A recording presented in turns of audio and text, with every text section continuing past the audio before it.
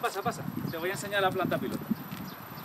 Bueno, esta es nuestra planta piloto de tratamiento de aguas utilizando bacterias fototróficas. Bueno, como toda planta piloto, pues como veis, como ves, pues tiene equipos de una dimensión bastante más grande que lo que hemos visto antes en un laboratorio.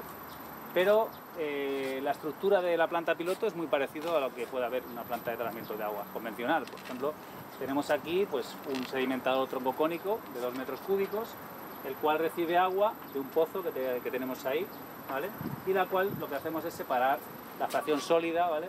Eh, del resto del agua para evitar que entren sólidos en nuestra planta, porque ya sabéis que los organismos fototróficos y los sólidos se llevan muy mal. No queremos que haya pantallas que eh, oscurezcan el reactor, por decirlo, decirlo, de alguna manera. Una vez que hemos retirado los sólidos, pues lo pasamos a, esta, este tanque que tenéis aquí, que es un tanque de, de homogenización. Y en este tanque pues hacemos la mezcla que queramos. Podemos salir solamente el agua residual doméstica o lo podemos mezclar con otro tipo de, de, de fluidos.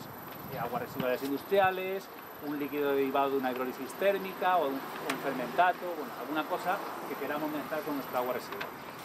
Una vez que lo tenemos aquí mezclado, pues ya pasaríamos al sistema de bombeo. Aquí veis dos bombas de recirculación debajo del reactor, por ahí debajo habría otra, otra bomba, pero sería la, entrada a los reactores y de, este depósito bombearíamos a los dos reactores eh, biológicos, que son estos reactores de aquí, son reactores tipo raceway, tipo canales abiertos, con sistema de circulación por palas, un sistema de, paddle wheels, y que están constantemente, al estar ubicados en el exterior, recibiendo la luz solar.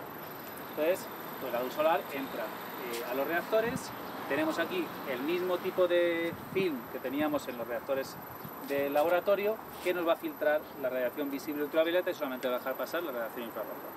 Llega la radiación infrarroja, las bacterias eh, fototróficas utilizan la radiación infrarroja para, eh, para asimilar eh, la materia orgánica que viene del agua residual y los nutrientes van creciendo y después las vamos retirando. ¿Cómo las retiramos? Pues tenemos aquí un par de sedimentadores trombocónicos como ese, pero en pequeñito, ¿vale? Son sedimentadores de unos 350 litros, utilizamos más o menos la mitad de volumen, unos 100, 150 litros aproximadamente, y lo que hacemos es pues, separar eh, la biomasa, las bacterias, del agua.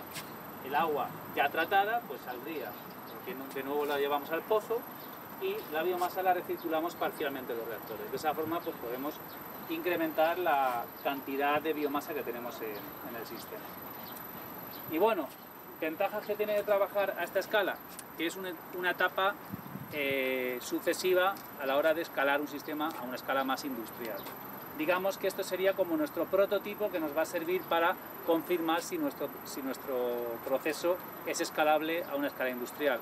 Una vez que hemos confirmado aquí el funcionamiento, eh, ya nosotros nos desentendemos de, eh, del desarrollo tecnológico, ya sería una empresa la que construiría los sistemas a una escala mucho mayor y los operaría ya para tratar unas aguas eh, concretas en unas condiciones mucho más específicas, con menos juego de, parámetros como tenemos nosotros aquí, que tenemos mucha capacidad de, de modificar parámetros y de optimización. Y eso es todo. Pues muchas gracias, Daniel. De nada, hombre. Aquí encantado y, bueno, quien quiera pasarse por aquí, pues nosotros estamos encantados de enseñaros las instalaciones y mostraros el trabajo que realizamos aquí en la universidad.